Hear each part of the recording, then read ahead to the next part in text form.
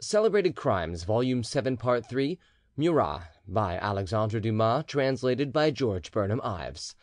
CHAPTER I TOULON On the 18th June 1815, at the very moment when the destiny of Europe was being decided at Waterloo, a man dressed like a beggar was silently following the road from Toulon to Marseilles. Arrived at the entrance of the gorge of Ollioules, he halted on a little eminence from which he could see all the surrounding country; then, either because he had reached the end of his journey, or because, before attempting that forbidding sombre pass which is called the Thermopylae of Provence, he wished to enjoy the magnificent view which spread to the southern horizon a little longer, he went and sat down on the edge of the ditch which bordered the road, turning his back on the mountains which rise like an amphitheatre to the north of the town, and having at his feet a rich plain covered with tropical vegetation, exotics of a conservatory, trees and flowers quite unknown in any other part of France. Beyond this plain, glittering in the last rays of the sun, pale and motionless as a mirror, lay the sea, and on the surface of the water glided one brig of war, which, taking advantage of a fresh land breeze, had all sails spread and was bowling along rapidly, making for Italian seas.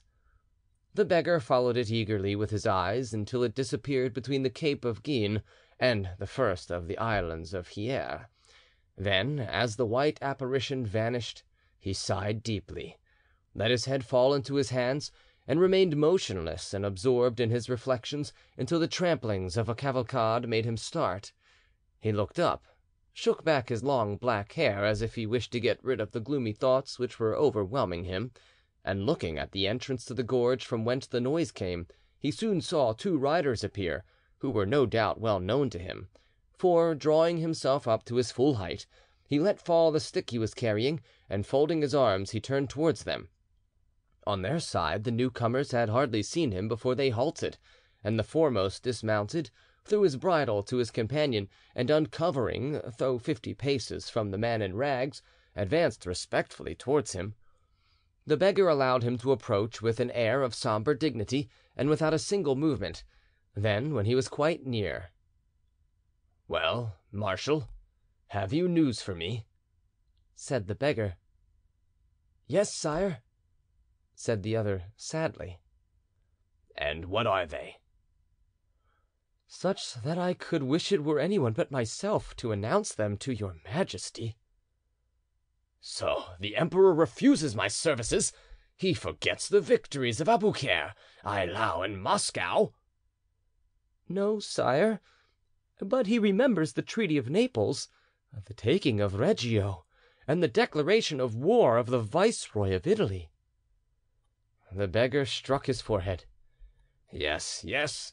I dare say he thinks I deserve his reproaches, and yet it seems to me that he ought to remember that there are two men in me, the soldier whom he made his brother, and the brother whom he made a king. Yes, as brother I have treated him ill, very ill; but as a king, upon my soul, I could not have acted differently. I had to choose between my sword and my crown, and between a regiment and a people. Listen, Brune. You do not know how it all happened. There was an English fleet, the guns of which were growling in the port; there was a Neapolitan population howling in the streets. If I had been alone, I would have passed through the fleet with one boat, through the crowd with my sword alone; but I had a wife and children. Yet I hesitated. The idea of being called traitor and deserter caused me to shed more tears than the loss of losing my throne or perhaps the death of those I love best, will ever wring from me. And so he will have nothing more to do with me; he refuses me as general, captain, private. Then what is left for me to do?" "Sire, your majesty must leave France immediately." "And if I don't obey?" "My orders are to arrest you and deliver you up to a court martial." "Old comrade, you will not do that?" "I shall do it, praying God to strike me dead in the moment I lay hands on you." that's you all over, Brune. You have been able to remain a good, loyal fellow. He did not give you a kingdom, he did not encircle your brow with a band of iron which men call a crown and which drives one mad. He did not place you between your conscience and your family. So I must leave France, begin my vagabond life again, and say farewell to Toulon, which recalls so many memories to me. See, Brune," continued Murat, leaning on the arm of the marshal, "are not the pines yonder as fine as any at the Villa Pamphili, the palms as imposing as any at Cairo, the mountains as grand as any range in the Tyrol? Look to your left; is not Cape Gien something like Castellamare and Sorrento, leaving out Vesuvius? And see, Saint Mandrier at the farthest point of the gulf, is it not like my rock of Capri, which Lamarque juggled away so cleverly from that idiot of a Sir Hudson Lowe? My God! and I must leave all this! Is there no way of remaining on this little corner of French ground? Tell me, Brune." "You'll break my heart, sire," answered the marshal. "Well, we'll say no more about it. What news?" "The emperor has left Paris to join the army. They must be fighting now." "Fighting now, and I not there! Oh, I feel I could have been of use to him on this battlefield. How I would have gloried in charging those miserable Prussians and dastardly English! Brune, give me a passport. I'll go at full speed. I'll reach the army. I will make myself known to some colonel. I shall say, 'Give me your regiment.' I'll charge at its head, and if the emperor does not clasp my hand tonight, I'll blow my brains out. I swear I will. Do what I ask, Brune and however it may end, my eternal gratitude will be yours." "I cannot, sire." "Well, well, say no more about it." "And your majesty is going to leave France?" "I don't know. Obey your orders, marshal, and if you come across me again, have me arrested. That's another way of doing something for me. Life is a heavy burden nowadays; he who will relieve me of it will be welcome. Good bye, Brune." He held out his hand to the marshal, who tried to kiss it, but Murat opened his arms. The two old comrades held each other fast for a moment, with swelling hearts and eyes full of tears, then at last they parted. Brune remounted his horse, Murat picked up his stick again and the two men went away in opposite directions, one to meet his death by assassination at Avignon, the other to be shot at Pizzo. Meanwhile, like Richard III, Napoleon was bartering his crown against a horse at Waterloo. After the interview that has just been related, Murat took refuge with his nephew, who was called Bonafoux, and who was captain of a frigate. But this retreat could only be temporary, for the relationship would inevitably awake the suspicions of the authorities. In consequence, Bonafoux set about finding a more secret place of refuge for his uncle. He hit on one of his friends, an advocate, a man famed for his integrity, and that very evening Bonafoux went to see him. After chatting on general subjects, he asked his friend if he had not a house at the seaside and receiving an affirmative answer, he invited himself to breakfast there the next day. The proposal, naturally enough, was agreed to with pleasure. The next day, at the appointed hour, Bonafoux arrived at Bonette, which was the name of the country house where M. Marouin's wife and daughter were staying. M. Marouin himself was kept by his work at Toulon. After the ordinary greetings, Bonafoux stepped to the window, beckoning to Marouin to rejoin him. "I thought," he said uneasily, "that your house was by the sea." "We are hardly ten minutes' walk from it." "But it is not in sight." "That hill prevents you from seeing it."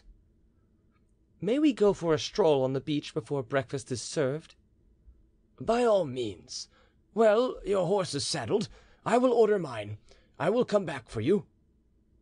Marouin went out. Bonafoux remained at the window, absorbed in his thoughts. The ladies of the house, occupied in preparations for the meal, did not observe, or did not appear to observe, his preoccupation. In five minutes Marouin came back; he was ready to start. The advocate and his friend mounted their horses and rode quickly down to the sea. On the beach the captain slackened his pace, and riding along the shore for about half an hour, he seemed to be examining the bearings of the coast with great attention. Marouin followed without inquiring into his investigations, which seemed natural enough for a naval officer. After about an hour the two men went back to the house. Marouin wished to have the horses unsaddled, but Bonafoux objected, saying that he must go back to Toulon immediately after lunch. Indeed, the coffee was hardly finished before he rose and took leave of his host. Marouin, called back to the town by his work, mounted his horse too, and the two friends rode back to Toulon together. After riding along for ten minutes, Bonafoux went close to his companion and touched him on the thigh. "Marouin," he said, "I have an important secret to confide to you." "Speak, captain. After a father confessor, you know there is no one so discreet as a notary, and after a notary an advocate." "You can quite understand that I did not come to your country house just for the pleasure of the ride. A more important object, a serious responsibility, preoccupied me. I have chosen you out of all my friends, believing that you were devoted enough to me to render me a great service." "You did well, captain." "Let us go straight to the point, as men who respect and trust each other should do. My uncle, King Joachim, is proscribed. He has taken refuge with me, but he cannot remain there, for I am the first person they will suspect. Your house is in an isolated position, and consequently we could not find a better retreat for him. You must put it at our disposal until events enable the king to come to some decision." "It is at your service," said Marouin. "Right. My uncle shall sleep there to night but at least give me time to make some preparations worthy of my royal guest." "My poor Marouin, you are giving yourself unnecessary trouble, and making a vexatious delay for us. King Joachim is no longer accustomed to palaces and courtiers; he is only too happy nowadays to find a cottage with a friend in it. Besides, I have let him know about it, so sure was I of your answer. He is counting on sleeping at your house to night and if I try to change his determination now, he will see a refusal in what is only a postponement, and you will lose all the credit for your generous and noble action. There, it is agreed; to night at ten at the Champs de Mars." With these words the captain put his horse to a gallop and disappeared. Marouin turned his horse and went back to his country house to give the necessary orders for the reception of a stranger whose name he did not mention. At ten o'clock at night as had been agreed, Marouin was on the Champs de Mars, then covered with Marshal Brune's field artillery. No one had yet arrived. He walked up and down between the gun carriages until a functionary came to ask what he was doing. He was hard put to it to find an answer. A man is hardly likely to be wandering about in an artillery park at ten o'clock at night for the mere pleasure of the thing. He asked to see the commanding officer. The officer came up. Monsieur Marouin informed him that he was an advocate attached to the law courts of Toulon, and told him that he had arranged to meet someone on the Champs de Mars, not knowing that it was prohibited, and that he was still waiting for that person. After this explanation the author authorized him to remain, and went back to his quarters.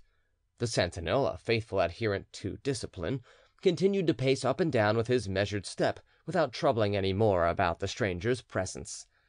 A few moments later a group of several persons appeared from the direction of Les Lices. The night was magnificent and the moon brilliant. Marouin recognized Bonafoux and went up to him.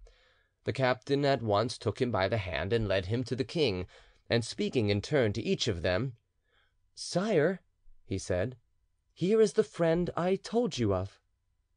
Then turning to Marouin, "Here," he said, "is the King of Naples exile and fugitive, whom I confide to your care. I do not speak of the possibility that some day he may get back his crown; that would deprive you of the credit of your fine action. Now, uh, be his guide. We will follow at a distance. March." The king and the lawyer set out at once together. Murat was dressed in a blue coat, semi military, semi civil, buttoned to the throat; he wore white trousers and top boots with spurs; he had long hair, moustache, and thick whiskers which would reach round his neck. As they rode along he questioned his host about the situation of his country house and the facility for reaching the sea in case of a surprise. Towards midnight the king and Marouin arrived at Bonette. The royal suite came up in about ten minutes; it consisted of about thirty individuals. After partaking of some light refreshment, this little troop, the last of the court of the deposed king, retired to disperse in the town and its environs, and Murat remained alone with the women, only keeping one valet, named Leblanc. Murat stayed nearly a month in this retirement spending all his time in answering the newspapers which accused him of treason to the emperor. This accusation was his absorbing idea, a phantom, a spectre to him. Day and night he tried to shake it off, seeking in the difficult position in which he had found himself all the reasons which it might offer him for acting as he had acted. Meanwhile, the terrible news of the defeat at Waterloo had spread abroad. The emperor who had exiled him was in exile himself and he was waiting at Rochefort, like Murat at Toulon, to hear what his enemies would decide against him. No one knows to this day what inward prompting Napoleon obeyed when, rejecting the counsels of General Lallemand and the devotion of Captain Baudin, he preferred England to America, and went like a modern Prometheus to be chained to the rock of St. Helena. We are going to relate the fortuitous circumstances which led Murat to the moat of Pizzo. Then we will leave it to the fatalists to draw from this strange story whatever philosophical deduction may please them. We, as humble annalists, can only vouch for the truth of the facts we have already related and of those which will follow. King Louis XVIII remounted his throne; consequently Murat lost all hope of remaining in France; he felt he was bound to go. His nephew Bonafoux fitted out a frigate for the United States under the name of Prince Rocca Romana. The whole suite went on board, and they began to carry on to the boat all the valuables which the exile had been able to save from the shipwreck of his kingdom. First, a bag of gold weighing nearly a hundred pounds; a sword sheath on which were the portraits of the king, the queen, and their children; the deed of the civil estates of his family, bound in velvet and adorned with his arms. Murat carried on his person a belt where some precious papers were concealed, with about a score of unmounted diamonds which he estimated himself to be worth four millions. When all these preparations for departing were accomplished, it was agreed that the next day, the 1st of August, at five o'clock, a boat should fetch the king to the brig from a little bay, ten minutes' walk from the house where he was staying. The king spent the night making out a route for M. Marouin by which he could reach the queen who was then in Austria, I think. It was finished just as it was time to leave, and on crossing the threshold of the hospitable house where he had found refuge, he gave it to his host, slipped into a volume of a pocket edition of Voltaire.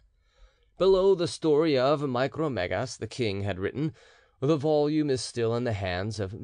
Marouin at Toulon." Reassure yourself, dear Caroline. Although unhappy, I am free. I am departing but I do not know whither I am bound. Wherever I may be, my heart will be with you and my children. J. M. Ten minutes later Murat and his host were waiting on the beach at Bonette for the boat which was to take them out to the ship. They waited until midday and nothing appeared, and yet on the horizon they could see the brig which was to be his refuge, unable to lie at anchor on account of the depth of water sailing along the coast at the risk of giving the alarm to the sentinels. At midday the king, worn out with fatigue and the heat of the sun, was lying on the beach when a servant arrived, bringing various refreshments, which Madame Marouin, being very uneasy, had sent at all hazards to her husband. The king took a glass of wine and water and ate an orange, and got up for a moment to see whether the boat he was expecting was nowhere visible on the vastness of the sea. There was not a boat in sight, only the brig tossing gracefully on the horizon, impatient to be off, like a horse awaiting its master. The king sighed and laid down again on the sand. The servant went back to Bonette with a message summoning M. Marouin's brother to the beach. he arrived in a few minutes, and almost immediately afterwards galloped off at full speed to Toulon, in order to find out from M. Bonafoux why the boat had not been sent to the king. On reaching the captain's house he found it occupied by an armed force. They were making a search for Murat. The messenger at last made his way through the tumult to the person he was in search of, and he heard that the boat had started at the appointed time, and that it must have gone astray in the creeks of Saint Louis and Saint Marguerite. This was, in fact, exactly what had happened. By five o'clock M. Marouin had reported the news to his brother and the king. It was bad news. The king had no courage left to defend his life even by flight. He was in a state of prostration which sometimes overwhelms the strongest of men, incapable of making any plan for his own safety, and leaving M. Marouin to do the best he could. Just then a fisherman was coming into harbour singing, and Marouin beckoned to him and he came up. Marouin began by buying all the man's fish; then, when he had paid him with a few coins, he let some gold glitter before his eyes, and offered him three louis if he would take a passenger to the brig which was lying off the Croix des Signaux. The fisherman agreed to do it. This chance of escape gave back Murat all his strength. He got up, embraced Marouin, and begged him to go to the queen with the volume of Voltaire. Then he sprang into the boat, which instantly left the shore. It was already some distance from the land when the king stopped the man who was rowing and signed to Marouin that he had forgotten something. On the beach lay a bag into which Murat had put a magnificent pair of pistols, mounted with silver gilt, which the queen had given him, and which he set great store on. As soon as he was within hearing he shouted his reason for returning to his host. Marouin seized the valise, and without waiting for Murat to land, he threw it into the boat, and the bag flew open and one of the pistols fell out. The fisherman only glanced once at the royal weapon, but it was enough to make him notice its richness and to arouse his suspicions. Nevertheless, he went on rowing towards the frigate. M. Marouin, seeing him disappear in the distance, left his brother on the beach, and bowing once more to the king, returned to the house to calm his wife's anxieties and to take the repose of which he was in much need. Two hours later he was awakened. His house was to be searched in its turn by soldiers. They searched every nook and corner without finding a trace of the king. Just as they were getting desperate, the brother came in. Marouin smiled at him, believing the king to be safe, but by the newcomer's expression he saw that some fresh misfortune was in the wind. In the first moment's respite given him by his visitors he went up to his brother. "Well," he said, "I hope the king is on board." "The king is fifty yards away, hidden in the outhouse." "Why did he come back?" "The fisherman pretended he was afraid of a sudden squall, and refused to take him off to the brig." "The scoundrel!" The soldiers came in again. They spent the night in fruitless searching about the house and buildings. Several times they passed within a few steps of the king, and he could hear their threats and imprecations. At last Half an hour before dawn they went away. Marouin watched them go, and when they were out of sight he ran to the king. He found him lying in a corner, a pistol clutched in each hand. The unhappy man had been overcome by fatigue and had fallen asleep. Marouin hesitated a moment to bring him back to his wandering, tormented life, but there was not a minute to lose. He woke him. They went down to the beach at once. A morning mist lay over the sea. They could not see anything two hundred yards ahead. They were obliged to wait. At last the first sunbeams began to pierce this nocturnal mist. It slowly dispersed, gliding over the sea as clouds move in the sky. The king's hungry eye roved over the tossing waters before him, but he saw nothing. Yet he could not banish the hope that somewhere behind that moving curtain he would find his refuge. Little by little the horizon came into view, Light wreaths of mist, like smoke, still floated about the surface of the water, and in each of them the king thought he recognized the white sails of his vessel. The last gradually vanished; the sea was revealed in all its immensity; it was deserted. Not daring to delay any longer, the ship had sailed away in the night.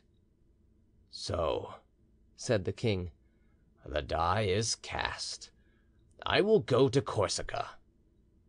The same day Marshal Brune was assassinated at Avignon. End of section 1 CHAPTER II CORSICA Once more on the same beach at Bonette, in the same bay where he had awaited the boat in vain, still attended by his band of faithful followers, we find Murat on the 22nd August in the same year. It was no longer by Napoleon that he was threatened, it was by Louis XVIII that he was proscribed. It was no longer the military loyalty of Marshal Brune who came with tears in his eyes to give notice of the orders he had received, but the ungrateful hatred of Monsieur de Riviere who had set a price, forty eight thousand francs, on the head of the man who had saved his own. Conspiracy of Pichegru. Monsieur de Riviere had indeed written to the ex king of Naples, advising him to abandon himself to the good faith and humanity of the King of France but his vague invitation had not seemed sufficient guarantee to the outlaw, especially on the part of one who had allowed the assassination almost before his eyes of a man who carried a safe conduct signed by himself. Murat knew of the massacre of the Mamelukes at Marseilles, the assassination of Brune at Avignon. He had been warned the day before by the police of Toulon that a formal order for his arrest was out. Thus it was impossible that he should remain any longer in France. Corsica, with its hospitable towns, its friendly mountains, its impenetrable forests, was hardly fifty leagues distant. He must reach Corsica, and wait in its towns, mountains, and forests until the crowned heads of Europe should decide the fate of the man they had called brother for seven years. At ten o'clock at night the king went down to the shore. The boat which was to take him across had not reached the rendezvous, but this time there was not the slightest fear that it would fail. The bay had been reconnoitred during the day by three men devoted to the fallen fortunes of the king, Messieurs Blancard, Langlade, and Donadieu, all three naval officers, men of ability and warm heart, who had sworn by their own lives to convey Murat to Corsica, and who were in fact risking their lives in order to accomplish their promise. Murat saw the deserted shore without uneasiness. Indeed, this delay afforded him a few more moments of patriotic satisfaction. On this little patch of land, this strip of sand, the unhappy exile clung to his mother France. For once his foot touched the vessel which was to carry him away, his separation from France would be long, if not eternal. He started suddenly amidst these thoughts and sighed. He had just perceived a sail gliding over the waves like a phantom through the transparent darkness of the southern night. Then a sailor's song was heard. Murat recognized the appointed signal, and answered it by burning the priming of a pistol, and the boat immediately ran inshore. But as she drew three feet of water, she was obliged to stop ten or twelve feet from the beach. Two men dashed into the water and reached the beach, while a third remained crouching in the stern sheets, wrapped in his boat cloak. "Well, my good friends," said the king, going towards Blancard and Langlade until he felt the waves wet his feet, "the moment has come, is it not? The wind is favourable, the sea calm. We must get to sea." "Yes," answered Langlade, "yes, we must start and yet perhaps it would be wiser to wait till to morrow." "Why?" asked Murat. Langlade did not answer, but turning toward the west he raised his hand, and according to the habit of sailors he whistled to call the wind. "That's no good," said Donadieu, who had remained in the boat. "Here are the first gusts. You will have more than you know what to do with in a minute. Take care, Langlade, take care. Sometimes in calling the wind you wake up a storm." Murat started, for he thought that this warning which rose from the sea had been given him by the spirit of the waters; but the impression was a passing one, and he recovered himself in a moment. "All the better," he said.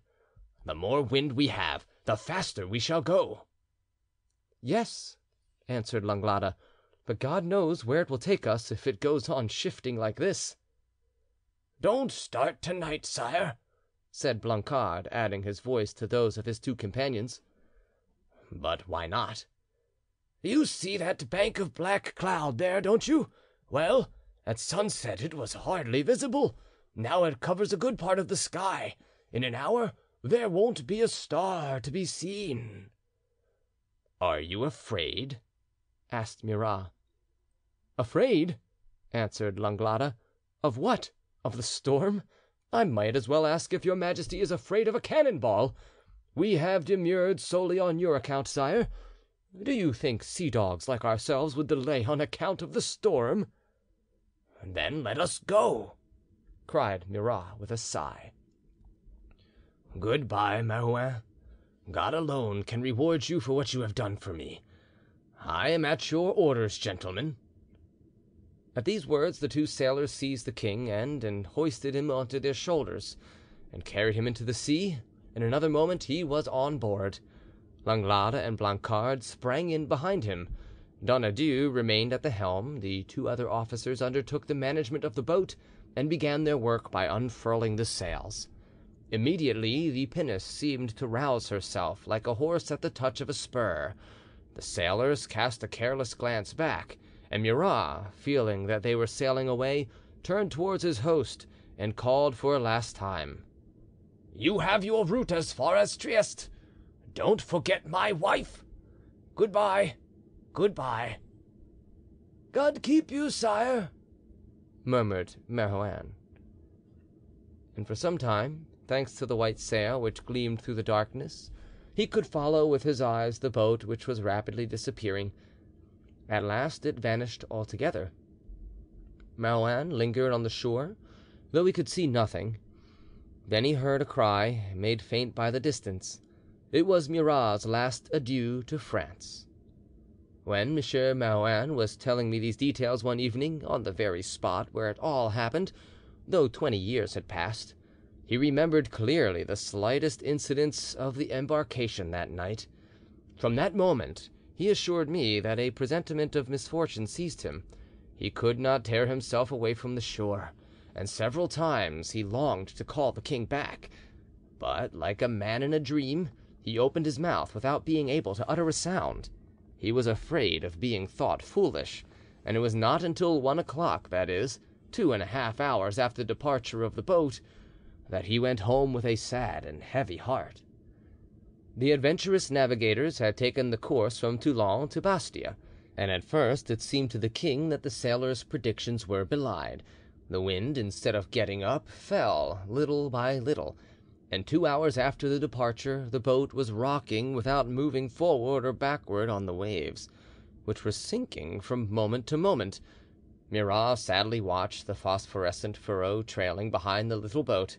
He had nerved himself to face a storm, but not a dead calm, and without even interrogating his companions, of whose uneasiness he took no account, he lay down in the boat, wrapped in his cloak, closing his eyes as if he were asleep and following the flow of his thoughts, which were far more tumultuous than that of the waters. Soon the two sailors, thinking him asleep, joined the pilot, and sitting down beside the helm, they began to consult together. "You were wrong, Langlade," said Donadieu, "in choosing a craft like this, which is either too small or else too big. In an open boat we can never weather a storm, and without oars we can never make any way in a calm." "'Fore God, I had no choice. I was obliged to take what I could get, and if it had not been for the season for tunny fishing, I might not even have got this wretched pinnace, or rather, I should have had to go into the harbor to find it, and they keep such a sharp lookout that I might well have gone in without coming out again." "At least it is seaworthy," said Blancard. "Pardieu! you know what nails and planks are when they have been soaked in sea water for ten years. On any ordinary occasion a man would rather not go in her from Marseilles to the Chateau d'If, but on an occasion like this one would willingly go round the world in a nutshell." "Hush!" Said Donadieu. The sailors listened. A distant growl was heard, but it was so faint that only the experienced ear of a sailor could have distinguished it. "Yes, yes," said Langlade. "It is a warning for those who have legs or wings to regain the homes and nests that they ought never to have left." "Are we far from the islands?" asked Donadieu quickly. "About a mile off." Steer for them." "What for?" asked Murat, looking up. "To put in there, sire, if we can." "No, no!" cried Murat. "I will not land except in Corsica. I will not leave France again. Besides, the sea is calm and the wind is getting up again." "Down with the sails!" shouted Donadieu. Instantly Langlade and Blancard jumped forward to carry out the order. The sail slid down the mast and fell in a heap in the bottom of the boat. "What are you doing?" cried Murat. "Do you forget that I am king and that I command you?" "Sire," said Donadieu, "there is a king more powerful than you. God! There is a voice which drowns yours, the voice of the tempest. Let us save your majesty, if possible, and demand nothing more of us." Just then a flash of lightning quivered along the horizon. A clap of thunder nearer than the first one was heard. A light foam appeared on the surface of the water, and the boat trembled like a living thing. Murat began to understand the danger was approaching. He then got up smiling, threw his hat behind him, shook back his long hair, and breathed in the storm like the smell of powder. The soldier was ready for the battle. "Sire," said Donadieu, "you have seen many a battle, but perhaps you have never watched a storm. If you are curious about it, cling to the mast, for you have a fine opportunity now." "What ought I do?" said Murat. "Can I not help you in any way?" "No, not just now, sire. Later you will be useful at the pumps." During this dialogue the storm had drawn near. It rushed on the travelers like a war horse, breathing out fire and wind through its nostrils, neighing like thunder and scattering the foam of the waves beneath its feet. Donadieu turned the rudder; the boat yielded as if it understood the necessity for prompt obedience, and presented the poop to the shock of wind; then the squall passed, leaving the sea quivering, and everything was calm again. The storm took breath. "Will that gust be all?" asked Murat. "No, your majesty, that was the advance guard only; the body of the army will be up directly." "And are you not going to prepare for it?" asked the king gaily. "What could we do?" said Donadieu. "We have not an inch of canvas to catch the wind, and as long as we do not make too much water we shall float like a cork. Look out, sire!"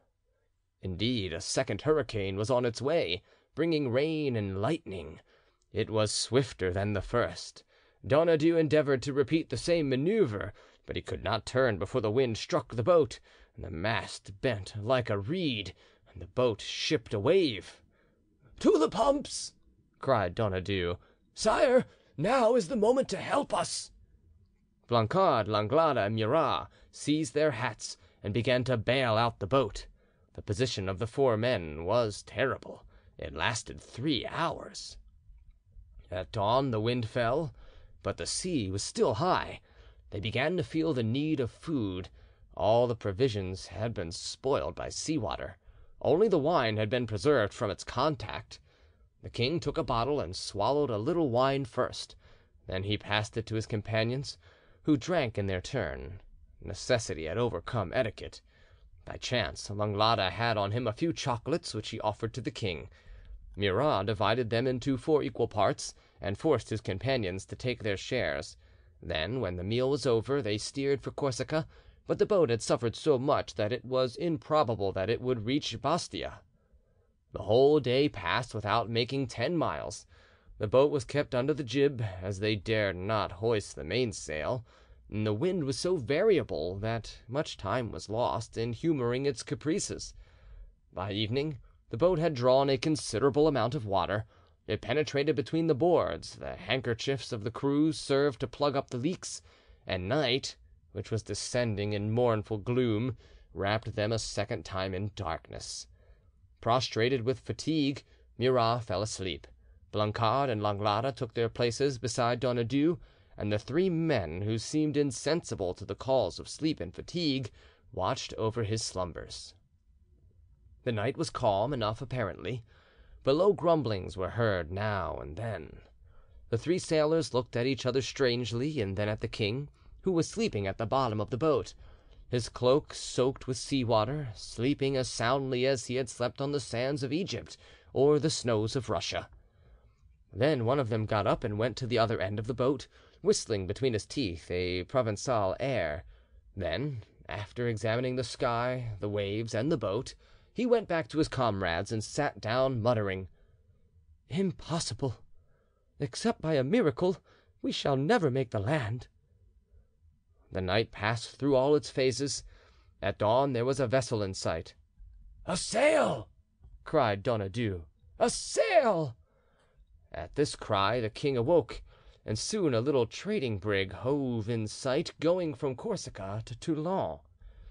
Donadieu steered for the brig, Blancard hoisted enough sail to work the boat, and Langlade ran to the prow and held up the king's cloak on the end of a sort of harpoon. Soon the voyagers perceived that they had been sighted. The brig went about to approach them, and in ten minutes they found themselves within fifty yards of it. The captain appeared in the bows. Then the king hailed him and offered him a substantial reward if he would receive them on board and take them to Corsica. The captain listened to the proposal, then immediately turning to the crew, he gave an order in an undertone which Donadieu could not hear, but which he understood probably by the gesture, for he instantly gave Langlade and Blancard the order to make away from the schooner. They obeyed with the unquestioning promptitude of sailors, but the king stamped his foot. "What are you doing, Donadieu?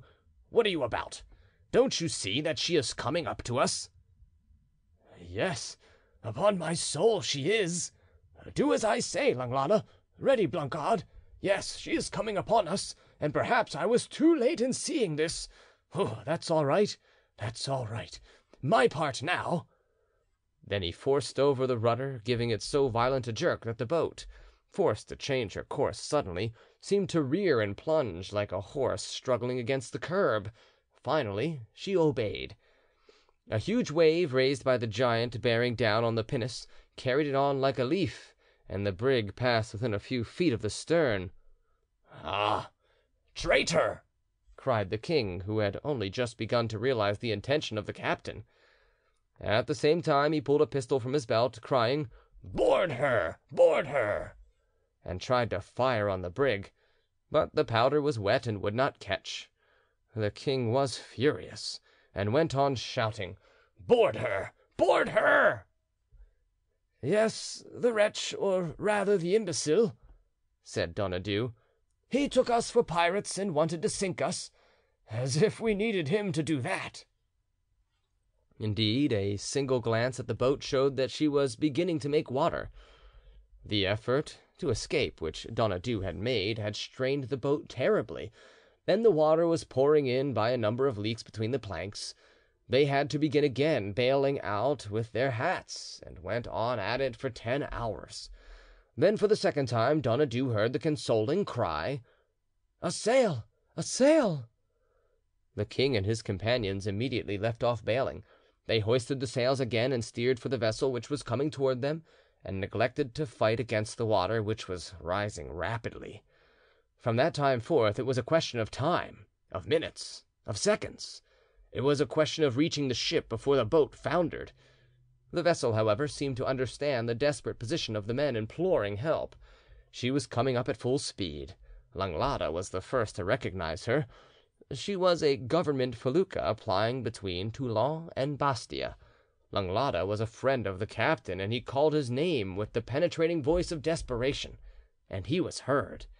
It was high time; the water kept on rising, and the king and his companions were already up to their knees. The boat groaned in its death struggle; it stood still and began to go round and round. Just then two or three ropes thrown from the felucca fell upon the boat. The king seized one, sprang forward, and reached the rope ladder. He was saved. Blancard and Langlade immediately followed. Donadieu waited until the last, as was his duty, and as he put his foot on the ladder he felt the other boat begin to go under. He turned round with all a sailor's calm, and saw the gulf open its jaws beneath him, and then the shattered boat capsized and immediately disappeared. Five seconds more and the four men who were saved would have been lost beyond recall. These details are well known to the people of Toulon, and I have heard them myself a score of times during the two stays that I made in that town during 1834 and 1835. Some of the people who related them had them first hand from Langlade and Donadieu themselves. Murat had hardly gained the deck before a man came and fell at his feet. It was a Mameluke whom he had taken to Egypt in former years and had since married at Castellamare. Business affairs had taken him to Marseilles, where by a miracle he had escaped the massacre of his comrades, and in spite of his disguise and fatigue he had recognized his former master. His exclamations of joy prevented the king from keeping up his incognito. Then Senator Casabianca, Captain Oletta, a nephew of Prince Baciocchi, a staff paymaster called Boecco, who were themselves fleeing from the massacres of the south, were all on board the vessel, and improvising a little court, they greeted the king with the title of "Your Majesty." It had been a sudden embarkation; it brought about a swift change. He was no longer Murat the exile, he was Joachim the king of Naples. The exile's refuge disappeared with the foundered boat. In its place Naples and its magnificent gulf appeared on the horizon like a marvelous mirage and no doubt the primary idea of the fatal expedition of Calabria was originated in the first days of exaltation which followed those hours of anguish. The king, however, still uncertain of the welcome which awaited him in Corsica, took the name of the Count of Campomele, and it was under this name that he landed at Bastia on the 25th August. But this precaution was useless; three days after his arrival not a soul but knew of his presence in the town. Crowds gathered at once, and cries of "Long live Joachim!" were heard, and the king, fearing to disturb the public peace, left Bastia the same evening with his three companions and his Mameluke. Two hours later he arrived at Viscovato, and knocked at the door of General Franceschetti, who had been in his service during his whole reign, and who, leaving Naples at the same time as the king, had gone to Corsica with his wife, to live with his father in law, Monsieur Colonna Cicaldi. He was in the middle of supper when a servant told him that a stranger was asking to speak to him. He went out and found Murat wrapped in a military great coat, a sailor's cap drawn down on his head, his beard grown long, and wearing a soldier's trousers, boots, and gaiters. The general stood still in amazement. Murat fixed his great dark eyes on him, and then folding his arms, "Franceschetti," said he, "have you room at your table for your general? who is hungry? Have you a shelter under your roof for your king, who is an exile?" Franceschetti looked astonished as he recognized Joachim, and could only answer him by falling on his knees and kissing his hand. From that moment the general's house was at Murat's disposal. The news of the king's arrival had hardly been handed about the neighbourhood before officers of all ranks hastened to Viscovato, veterans who had fought under him. Corsican hunters who were attracted by his adventurous character. In a few days the general's house was turned into a palace, the village into a royal capital, the island into a kingdom. Strange rumours were heard concerning Murat's intentions. An army of nine hundred men helped to give them some amount of confirmation. It was then that Blancard, Donadieu, and Langlade took leave of him.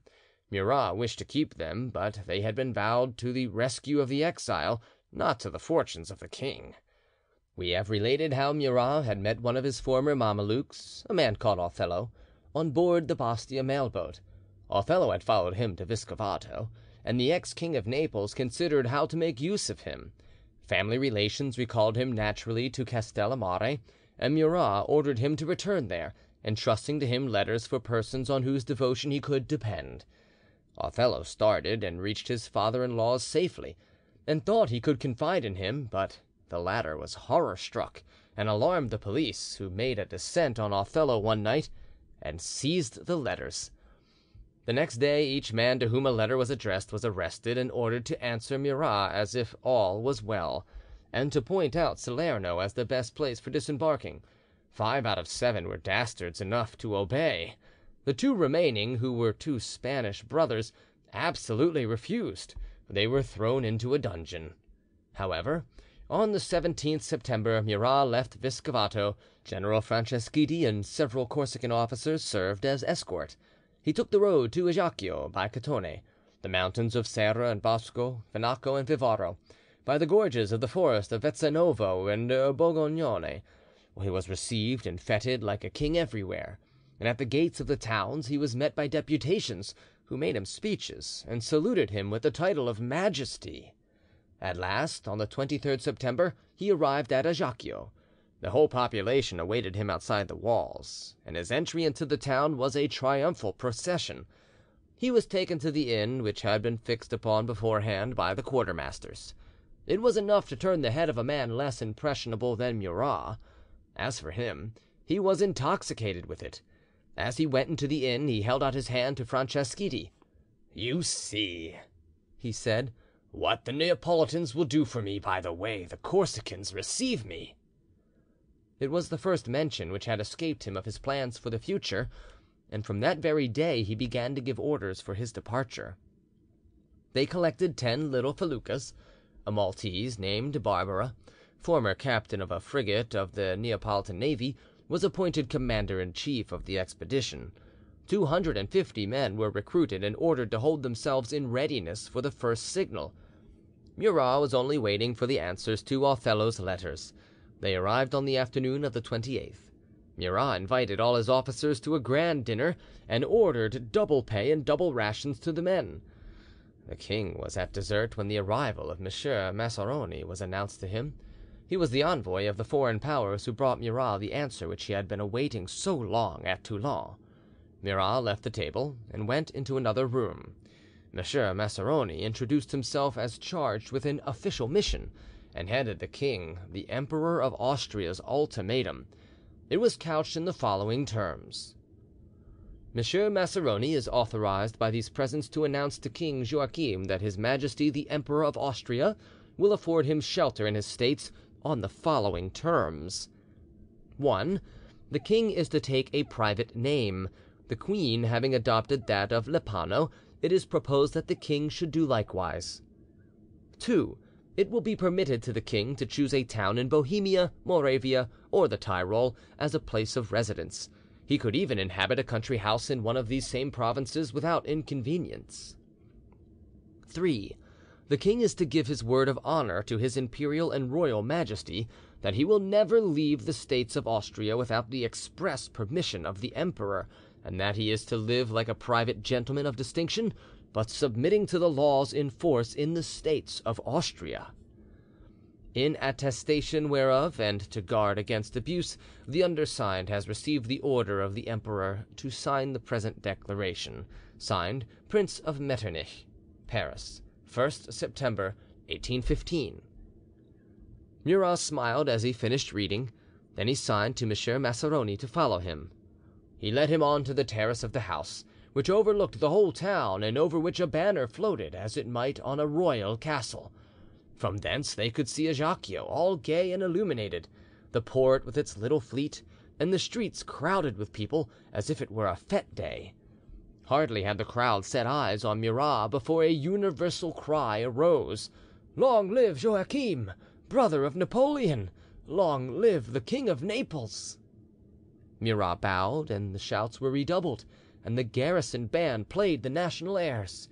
Monsieur Maceroni did not know how to believe his own eyes and ears. When the king had enjoyed his astonishment, he invited him to go down to the drawing room. His staff were there, all in full uniform; one might have been at uh, Caserta or at Capo Capodimonte. At last, after a moment's hesitation, Maceroni approached Murat. "Sir," he said, "what is my answer to be to His Majesty the Emperor of Austria?" "Sir," answered Murat, with the lofty dignity which sat so well on his fine face, "tell my brother Francis what you have seen and heard, and add that I am setting out this very night to reconquer my kingdom of Naples." CHAPTER II CHAPTER III Pizzo The letters which had made Murat resolve to leave Corsica had been brought to him by a Calabrian named Luidgi. He had presented himself to the king as the envoy of the Arab Othello, who had been thrown into prison in Naples, as we have related, as well as the seven recipients of the letters. The answers, written by the head of the Neapolitan police, indicated the port of Salerno as the best place for Joachim to land, for King Ferdinand had assembled three thousand Austrian troops at that point, not daring to trust the Neapolitan soldiers, who cherished a brilliant and enthusiastic memory of Murat. Accordingly, the flotilla was directed for the Gulf of Salerno, but within sight of the island of Capri a violent storm broke over it and drove it as far as Paola, a little seaport situated ten miles from Cosenza. Consequently, the vessels were anchored for the night of the 5th of October in a little indentation of the coast not worthy of the name of a roadstead. The king, to remove all suspicion from the coastguards and the Sicilian scorridori (small vessels fitted up as ships of war), ordered that all lights should be extinguished, and that the vessels should tack about during the night; but towards one o'clock such a violent land wind sprang up that the expedition was driven out to sea, so that on the 6th at dawn the king's vessel was alone. During the morning they overhauled Captain Cicconi's felucca, and the two ships dropped anchor at four o'clock in sight of Santo Lucido. In the evening the king commanded Ottoviani, a staff officer, to go ashore and reconnoitre. Luidgi offered to accompany him; Murat accepted his services. So Ottoviani and his guide went ashore, whilst Cicconi and his felucca put out to sea in search of the rest of the fleet. Towards eleven o'clock at night the lieutenant of the watch descried a man in the waves swimming to the vessel. As soon as he was within hearing the lieutenant hailed him. The swimmer immediately made himself known; it was Luigi. They put out the boat, and he came on board. Then he told them that Ottoviani had been arrested, and he had only escaped himself by jumping into the sea. Murat's first idea was to go to the rescue of Ottoviani, but Luigi made the king realize the danger and uselessness of such an attempt. Nevertheless, Joachim remained agitated and irresolute until two o'clock in the morning. At last he gave the order to put out to sea again. During the manoeuvre which effected this a sailor fell overboard and disappeared before they had time to help him. Decidedly these were ill omens. On the morning of the 7th two vessels were in sight. The king gave the order to prepare for action, but Barbara recognized them as Cicconi's felucca and Coron's lugger, which had joined each other and were keeping each other company. They hoisted the necessary signals and the two captains brought up their vessels alongside the admiral's. While they were deliberating as to what route to follow, a boat came up to Murat's vessel. Captain Pernice was on board with a lieutenant. They came to ask the king's permission to board his ship, not wishing to remain on Coron's, for in their opinion he was a traitor. Murat sent to fetch him, and in spite of his protestations he was made to descend into a boat with fifty men, and the boat was moored to the vessel. The order was carried out at once, and the little squadron advanced, coasting along the shores of Calabria without losing sight of them. But at ten o'clock in the evening, just as they came abreast of the Gulf of Santa Euphemia, Captain Coron cut the rope which moored his boat to the vessel and rowed away from the fleet. Murat had thrown himself on to his bed without undressing; they brought him the news. He rushed up to the deck and arrived in time to see the boat, which was fleeing in the direction of Corsica, grow small and vanish in the distance. He remained motionless, not uttering a cry, giving no signs of rage. He only sighed and let his head fall on his breast. It was one more leaf falling from the exhausted tree of his hopes. General Franceschetti profited by this hour of discouragement to advise him not to land in Calabria, and to go direct to Trieste, in order to claim from Austria the refuge which had been offered. The king was going through one of those periods of extreme exhaustion, of mortal depression, when courage quite gives way. He refused flatly at first, and there at last agreed to do it. Just then the general perceived a sailor lying on some coils of rope, within hearing of all they said. He interrupted himself and pointed him out to Murat. The latter got up, went to see the man, and recognized Luidgi. Overcome with exhaustion, he had fallen asleep on deck. The king satisfied himself that the sleep was genuine, and besides he had full confidence in the man. The conversation, which had been interrupted for a moment, was renewed. It was agreed that without saying anything about the new plans, they would clear Cape Spartivento and enter the Adriatic. Then the king and the general went below again to the lower deck. The next day, the 8th October, they found themselves abreast of Pizzo, when Joachim, questioned by Barbara as to what he proposed to do, gave the order to steer for Messina. Barbara answered that he was ready to obey, but that they were in need of food and water; consequently he offered to go on, board Cicconi's vessel, and to land with him to get stores.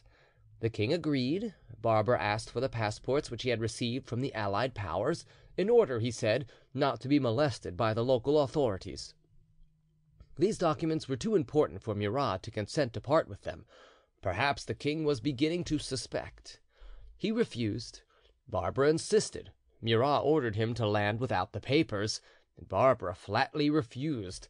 The king, accustomed to being obeyed, raised his riding whip to strike the Maltese, but changing his resolution, he ordered the soldiers to prepare their arms, the officers to put on full uniform; he himself set the example.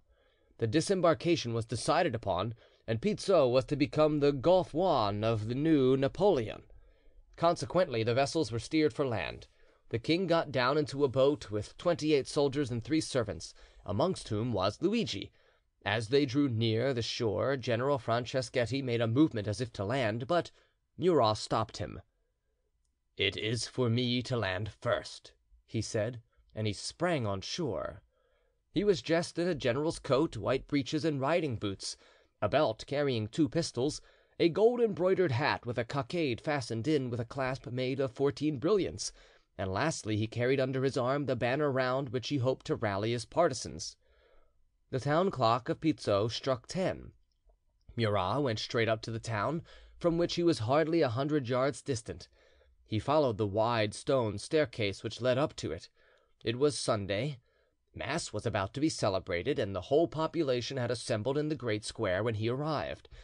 No one recognized him, and everyone gazed with astonishment at the fine officer.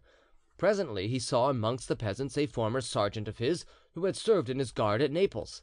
He walked straight up to him and put his hand on the man's shoulder. "Tavella," he said, "don't you recognize me?" But as the man made no answer, "I am Joachim Murat, I am your king," he said. "Yours be the honor to shout 'Long live Joachim' first." Murat's suite instantly made the air ring with acclamations. But the Calabrians remained silent, and not one of his comrades took up the cry for which the king himself had given the signal. On the contrary, a low murmur ran through the crowd. Murat well understood this forerunner of the storm.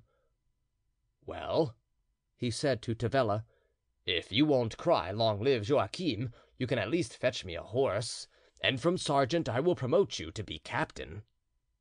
Tavella walked away without answering but instead of carrying out the king's behest, went into his house and did not appear again. In the meantime the people were massing together without evincing any of the sympathy that the king had hoped for. He felt that he was lost if he did not act instantly.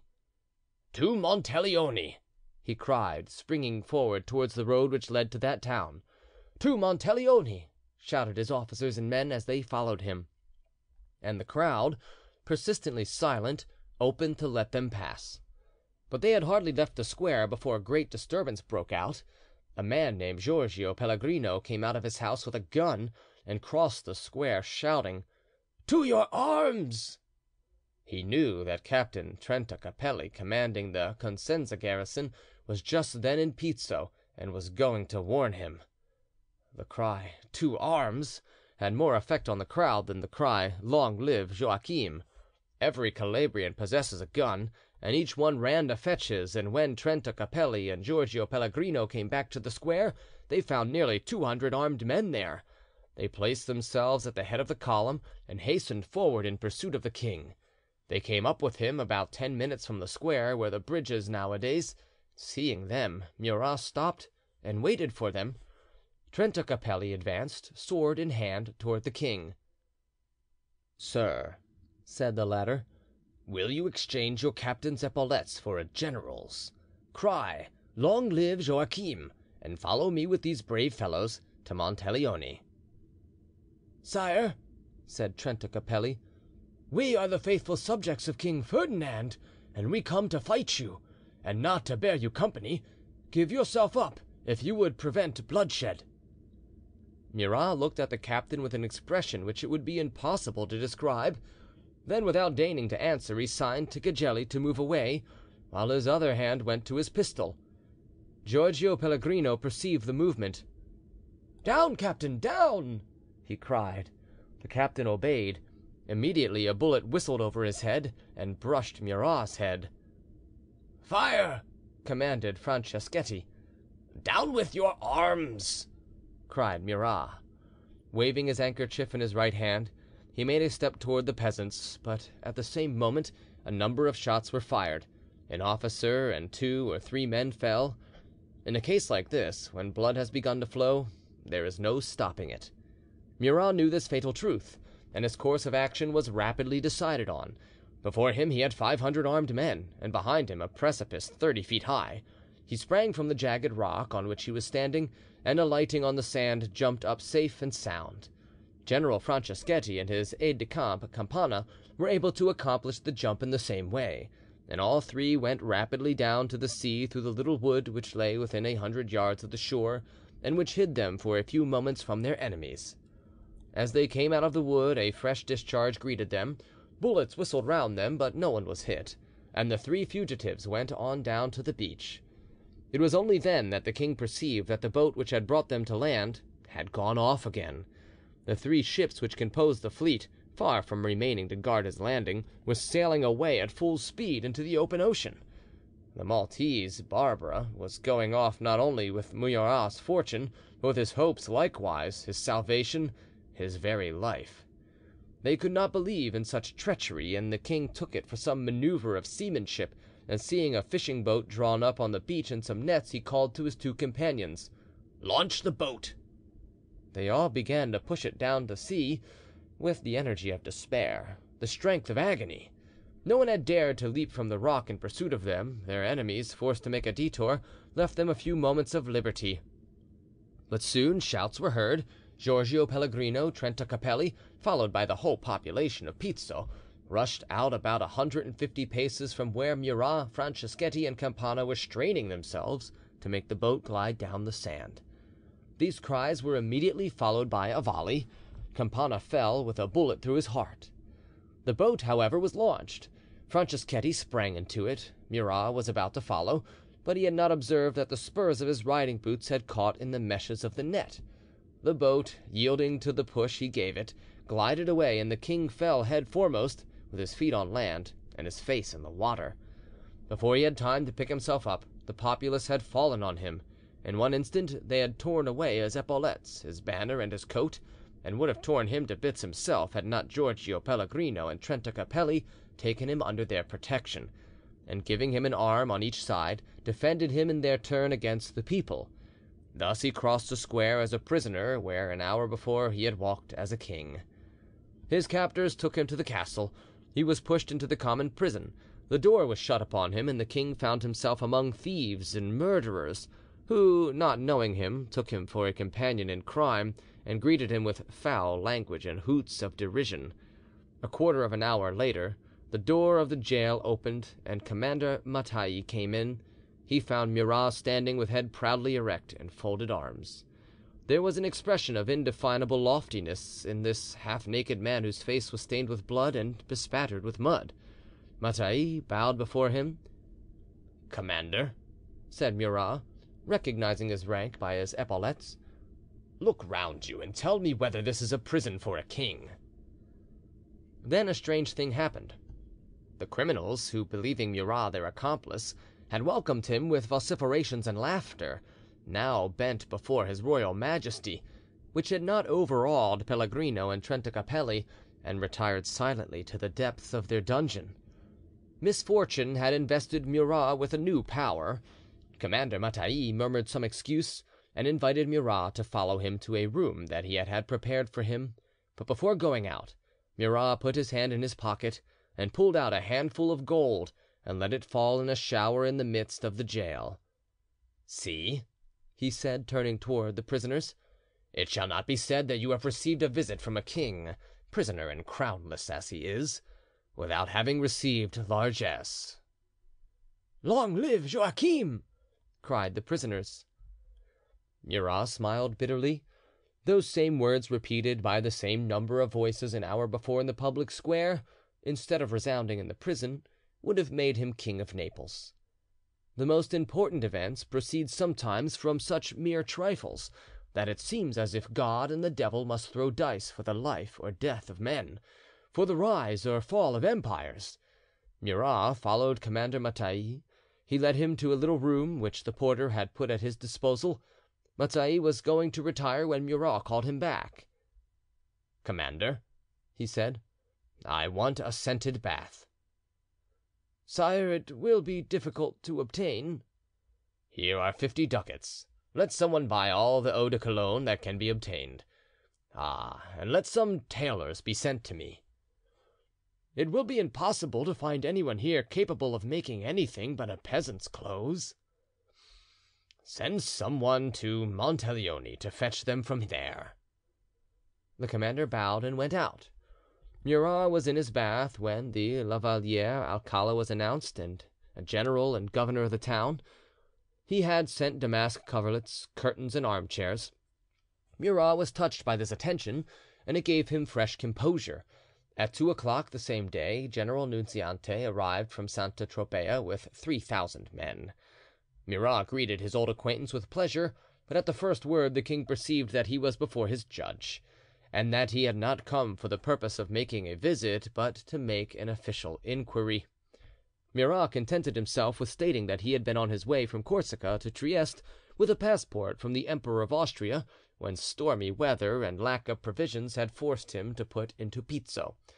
All other questions Murat met with a stubborn silence. Then at least, wearied by his importunity, "General," he said, "can you lend me some clothes after my bath?" The general understood that he could expect no more information, and bowing to the king he went out. Ten minutes later a complete uniform was brought to Murat. He put it on immediately, asked for a pen and ink, wrote to the commander in chief of the Austrian troops at Naples, to the English ambassador, and to his wife, to tell them of his detention at Pizzo. These letters written, he got up and paced his room for some time in evident agitation. At last, needing fresh air, he opened the window. There was a view of the very beach where he had been captured. Two men were digging a hole in the sand at the foot of the little redoubt. Murat watched them mechanically. When the two men had finished, they went into a neighbouring house, and soon came out, bearing a corpse in their arms. The king searched his memory and indeed it seemed to him that in the midst of that terrible scene he had seen someone fall, but who it was he no longer remembered. The corpse was quite without covering, but by the long black hair and youthful outlines the king recognized Campana, the aide de camp he had always loved best. This scene, watched from a prison window in the twilight, this solitary burial on the shore, in the sand, moved Murat more deeply than his own fate. Great tears filled his eyes and fell silently down the leonine face. At that moment General Nunziante came in and surprised him with outstretched arms and face bathed with tears. Murat heard him enter and turned round, and seeing the old soldier's surprise, "Yes, general," he said, "I weep. I weep for that boy, just twenty four, entrusted to me by his parents, whose death I have brought about. I weep for that vast, brilliant future which is buried in an unknown grave, in an enemy's country, on a hostile shore. Oh, Campana, Campana, if ever I am king again, I will raise you a royal tomb." The general had had dinner served in an adjacent room. Murat followed him and sat down to table, but he could not eat. The sight which he had just witnessed had made him heartbroken and yet without a line on his brow that man had been through the battles of Aboukir, Eylau, and Moscow. After dinner, Murat went into his room again, gave the various letters to General Nunziante, and begged to be left alone. The general went away. Murat paced around his room several times, walking with long steps and pausing from time to time before the window, but without opening it. At last he overcame a deep reluctance, put his hand on the bolt, and drew the lattice towards him. It was a calm, clear night; one could see the whole shore. He looked for Campana's grave, and two dogs scratching the sand showed him the spot. The king shut the window violently, and without undressing threw himself onto his bed. At last, fearing that his agitation would be attributed to personal alarm, he undressed and went to bed, to sleep, or seem to sleep, all night. On the morning of the 9th the tailors whom Murat had asked for arrived. He ordered a great many clothes, taking the trouble to explain all the details suggested by his fastidious taste. He was thus employed when General Nunziante came in. He listened sadly to the king's commands. He had just received telegraphic despatches ordering him to try the King of Naples by court martial as a public enemy. But he found the king so confident, so tranquil, almost cheerful, indeed, that he had not the heart to announce his trial to him, and took upon himself to delay the opening of operation until he received written instructions. These arrived on the evening of the 12th. They were couched in the following terms: Naples, October 9th, 1815. Ferdinand, by the grace of God, etc., wills and decrees the following: Article 1. General Murat is to be tried by court martial, the members whereof are to be nominated by our Minister of War. Article 2. Only half an hour is to be accorded to the condemned for the exercises of religion. Signed, Ferdinand. Another despatch from the minister contained the names of the members of the commission. They were Giuseppe Fosculo, adjutant commander in chief of the staff president; Raffaello Scalfaro, chief of the Legion of Lower Calabria; Laterio Natali, lieutenant colonel of the Royal Marines; Gennaro Lanzetta, lieutenant colonel of the Engineers. W. T., captain of artillery; Francois de Venge, ditto; Francesco Martellari, lieutenant of artillery; Francesco Froio, lieutenant of the third regiment of the line; Giovanni Deltacamera, public prosecutor to the criminal courts of Lower Calabria; Francesco Papavassi, registrar. The commission assembled that night. On the 13th October, at six o'clock in the morning, Captain Stratti came into the king's prison. He was sound asleep. Stratti was going away again when he stumbled against a chair, and the noise awoke Murat. "What do you want with me, captain?" asked the king. Stratti tried to speak, but his voice failed him. "Aha!" said Murat, "you must have had news from Naples." "Yes, sire," muttered Stratti. "What are they?" said Murat. "Your trial, sire." "And by whose order will sentence be pronounced, if you please?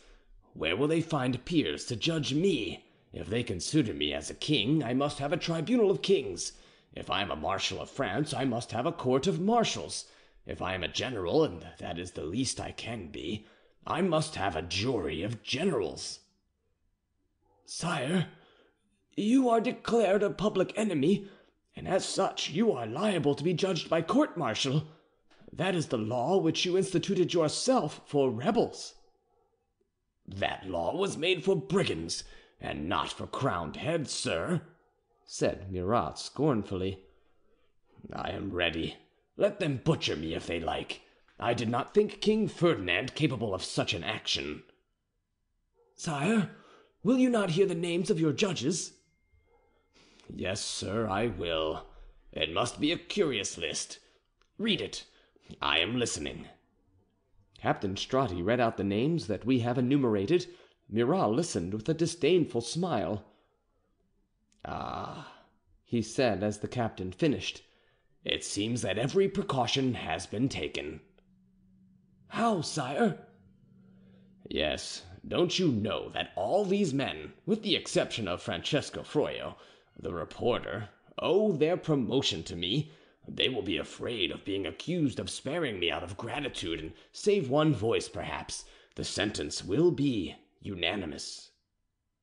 "Sire, suppose you were to appear before the court to plead your own cause?"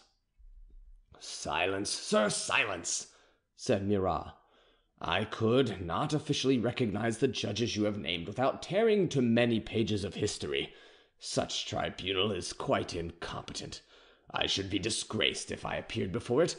I know I could not save my life; let me at least preserve my royal dignity." At this moment Lieutenant Francesco Froio came in to interrogate the prisoner. asking his name, his age, and his nationality. Hearing these questions, Murat rose with an expression of sublime dignity. "I am Joachim Napoleon, King of the Two Sicilies," he answered, "and I order you to leave me." The registrar obeyed.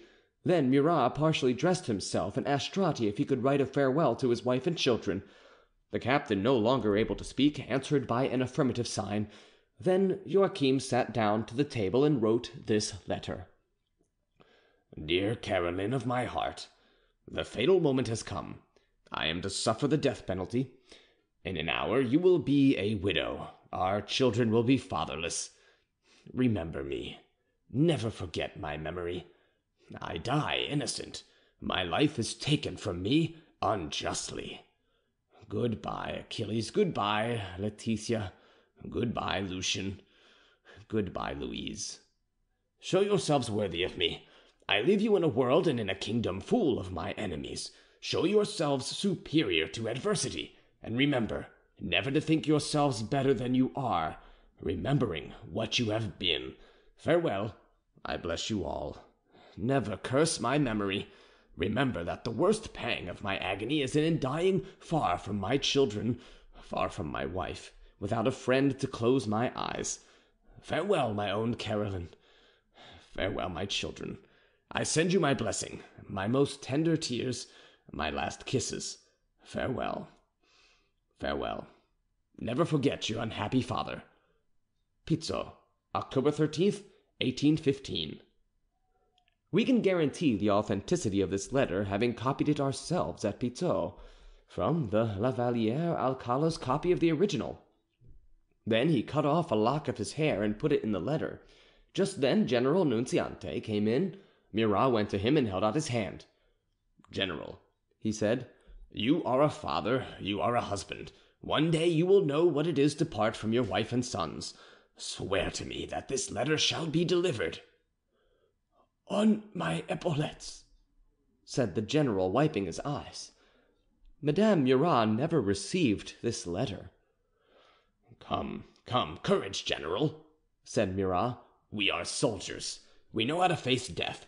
One favour: you will let me give the order to fire, will you not?"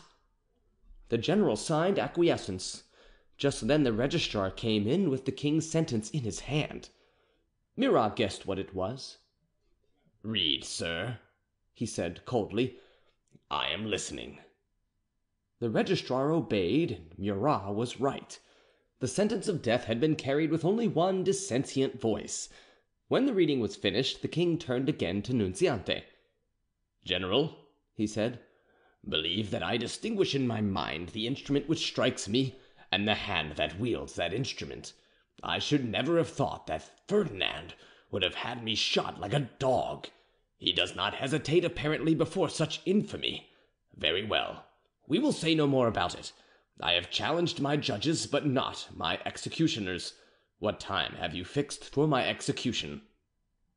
"Will you fix it yourself, sir?" Said the general. Murat pulled out a watch on which there was a portrait of his wife. By chance he turned up the portrait, and not the face of the watch. He gazed at it tenderly.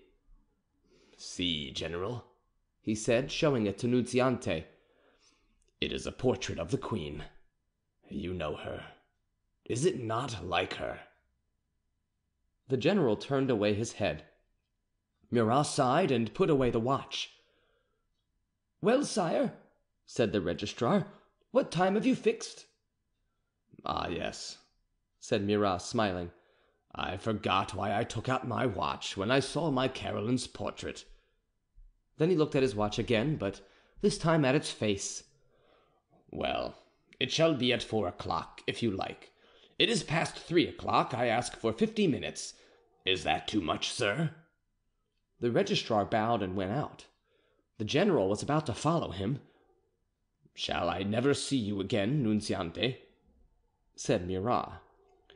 "My orders are to be present at your death, sire, but I cannot do it." "Very well, general. I will dispense with your presence at the last moment, but I should like to say farewell once more, and to embrace you." "I will be near, sire." Thank you.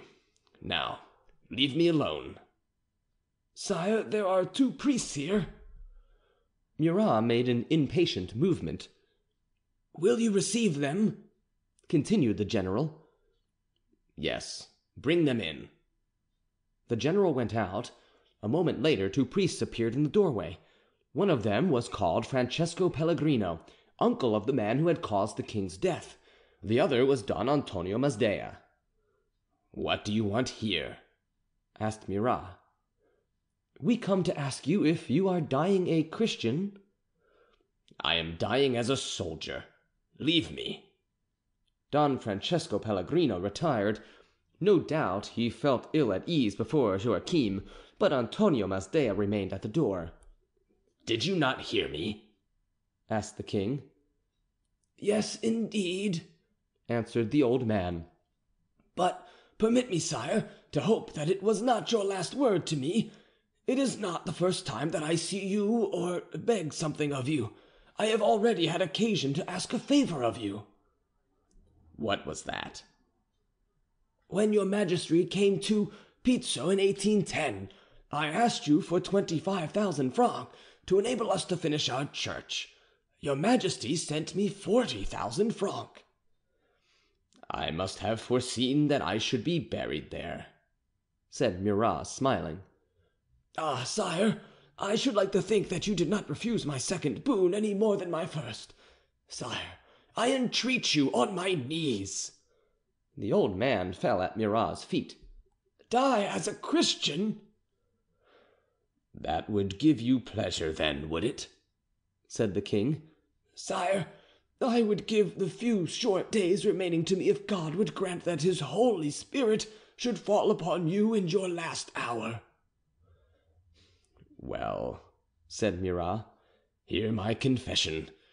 I accuse myself of having been disobedient to my parents as a child. Since I reached manhood I have done nothing to reproach myself with." "Sire, will you give me an attestation that you die in the Christian faith?" "Certainly," said Murat. And he took a pen and wrote, "I, Joachim Murat, die a Christian, believing in the Holy Catholic Church, Apostolic and Roman." He signed it. "Now, father," continued the king, "if you have a third favour to ask of me, make haste, for in half an hour it will be too late." Indeed, the castle clock was striking half past three. The priest signed that he had finished. "Then leave me alone," said Murat, and the old man went out. Murat paced his room for a few moments, then he sat down on his bed and let his head fall into his hands. Doubtless, during the quarter of an hour he remained thus absorbed in his thoughts, he saw his whole life pass before him, from the inn where he had started to the palace he had reached. No doubt his adventurous career unrolled itself before him like some golden dream, some brilliant fiction, some tale from the Arabian Nights. His life gleamed athwart the storm like a rainbow, and like a rainbow's its two extremities were lost in clouds, the clouds of birth and death. At last he roused himself from this inward contemplation and lifted a pale but tranquil face. Then he went to the glass and arranged his hair. His strange characteristics never left him.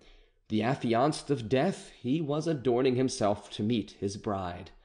Four o'clock struck. Murat went to the door himself and opened it. General Nunziante was waiting for him. "Thank you, general," said Murat. "You have kept your word. Kiss me, and go at once if you like." The general threw himself into the king's arms, weeping and utterly unable to speak. "Courage," said Murat. "You see I am calm." It was this very calmness which broke the general's heart. He dashed out of the corridor and left the castle running like a madman. Then the king walked out into the courtyard. Everything was ready for the execution. Nine men and a corporal were ranged before the door of the council chamber. Opposite them was a wall twelve feet high. Three feet away from the wall was a stone block. Murat mounted it, thus raising himself about a foot above the soldiers who were to execute him. Then he took out his watch. Madame Murat recovered this watch at the price of two hundred louis, kissed his wife's portrait, and fixing his eyes on it, gave the order to fire. At the word of command five out of the nine men fired. Murat remained standing. The soldiers had been ashamed to fire on their king, and had aimed over his head. That moment perhaps displayed most gloriously the lion like courage which was Murat's special attribute. His face never changed, he did not move a muscle, only gazing at the soldiers with an expression of mingled bitterness and gratitude, he said: "Thank you, my friends. Since sooner or later you will be obliged to aim true, do not prolong my death agonies.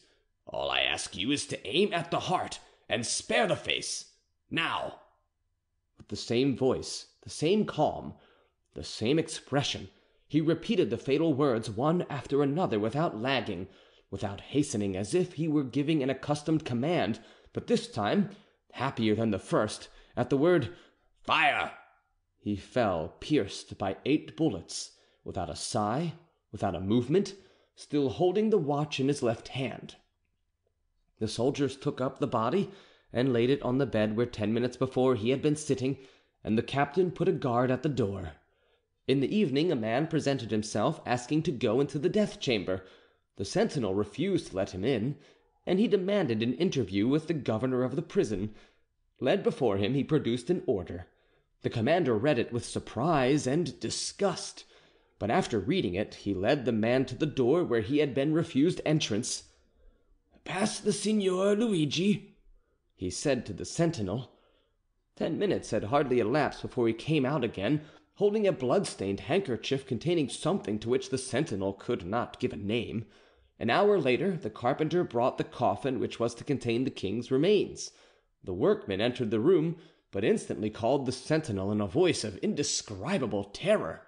The sentinel half opened the door to see what had caused the man's panic. The carpenter pointed to a headless corpse. At the death of King Ferdinand, that head, preserved in spirits of wine, was found in a secret cupboard in his bedroom. A week after the execution of Pizzo, everyone had received his reward. Trenta Capelli was made a colonel, General Nunziante a marquis, and Luigi died from the effects of poison. End of Chapter 3 End of Celebrated Crimes, Volume 7, Part 3 Murat by Alexandre Dumas, translated by George Burnham Ives